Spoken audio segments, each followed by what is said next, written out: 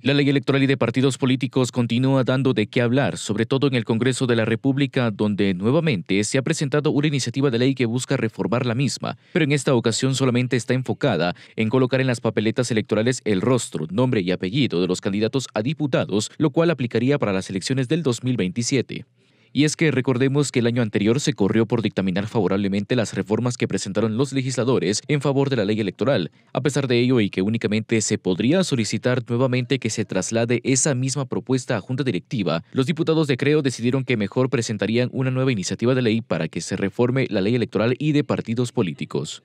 El día de hoy pues presentamos esta iniciativa que lógicamente es totalmente imposible que entre en vigencia para estas elecciones, pero hay que hacer una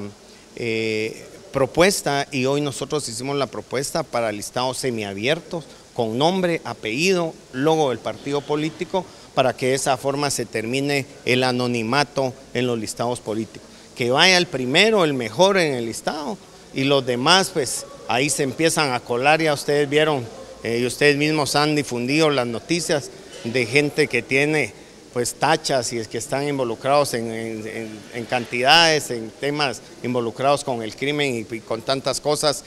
que, que, ni siquiera podría enumerarlas. Pero el día de hoy hemos presentado la verdadera reforma política, que es la reforma a la ley electoral y de partidos políticos. Yo lo dije en el Pleno de la República, en discursos y en intervenciones, que la verdadera reforma es esta, que voten por la persona, por Juanito, por Paquito, por, por, María, por, por, la persona que quieran, por Cristian, por Oscar, por Carlos, pero el tema es que tiene que ya no tiene que existir esa metodología que el primero jala a los demás y que entonces ahí se esconden en los listados para eso, eso ya no podemos permitirlo en Guatemala.